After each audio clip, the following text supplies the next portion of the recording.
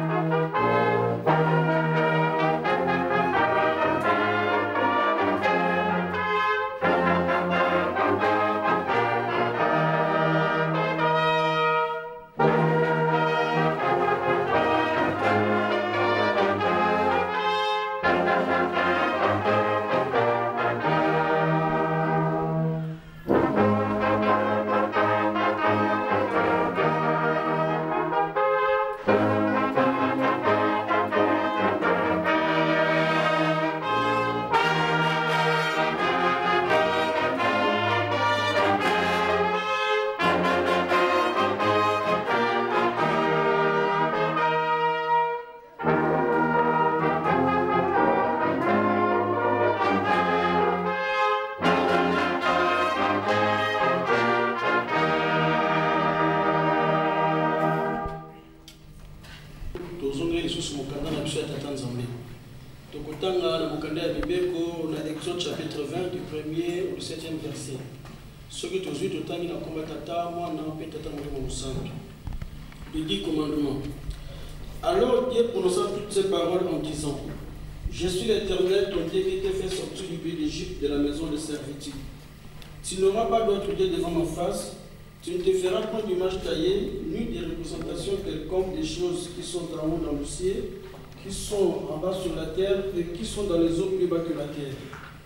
Tu ne te posteras point devant terre et tu ne les serviras point. Car moi, l'Éternel, ton Dieu, je suis un Dieu jaloux, qui l'unité des pères sur les enfants jusqu'à la troisième et à la quatrième génération de ceux qui me haïssent.